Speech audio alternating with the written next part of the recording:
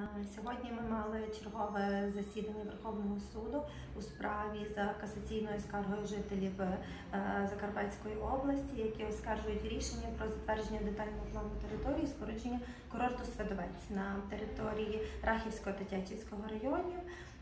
Сьогодні рішення сьогодні рішення ми не отримали, але очікується, що 9 жовтня судді будуть готові оголосити рішення. Сьогодні виступала протилежна сторона відповідач, яка представляла Рахівську і Тячівську райдержадміністрації. Власне, нам відповідач ем, розповідала, що е, територія, яка планується під забудову з видовцем, це біля 1400 гектарів, що це не є гірська територія, ем, що курорт не буде також в гірській території Карпат, і через те не потрібно а, розробляти містобудівну документацію, зокрема у відповідності до статті 12 закону про регулювання містобудівної діяльності, тобто не потрібно розробляти для цього схему е, планування окремих частин території України, е, власне Карпатського.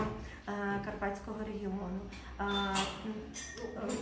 багато. Ми почули звинувачень того, що громадськість блокує розвиток економіки, що громадськість е, виступає проти е, розвитку соціально-економічного розвитку даних депресивних е, територій, і що проєктований курорт не буде ем, не буде порушувати природоохоронне законодавство.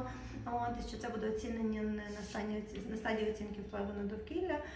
От, але також е, судді вже попередньо заслуховували наші аргументи про те, які порушення відбулися щодо громадського обговорення у 2017 році, коли затверджували детальний план території курорту Садовець. Тому сподіваємося, візьме уваги наші аргументи, які ми виклали в касаційній скарзі, і 9 числа будемо мати рішення по цій справі.